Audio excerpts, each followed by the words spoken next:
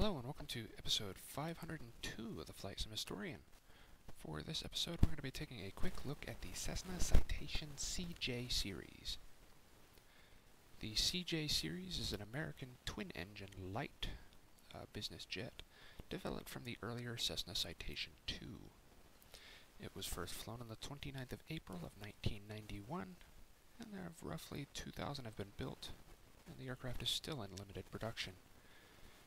Variants include the CJ1, CJ1 Plus, M2, CJ2, CJ2 Plus, CJ3, CJ3 Plus, and the CJ4 as seen here.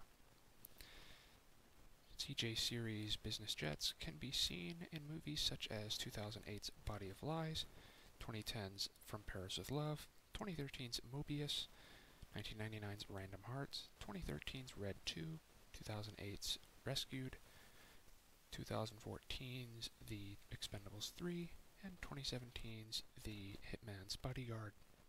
The CJ series is powered by a pair of Williams FJ44 turbofan engines with power up to 3,621 pounds of thrust each, giving the aircraft a maximum speed of 519 miles per hour or 451 knots, with a range of up to 2,491 miles and a service ceiling of 45,000 feet. Purpose of the video today, we are in FSX Steam Edition and we are flying the Payware Cessna Citation CJ4 Next Gen Sims. We are at Reno Stead.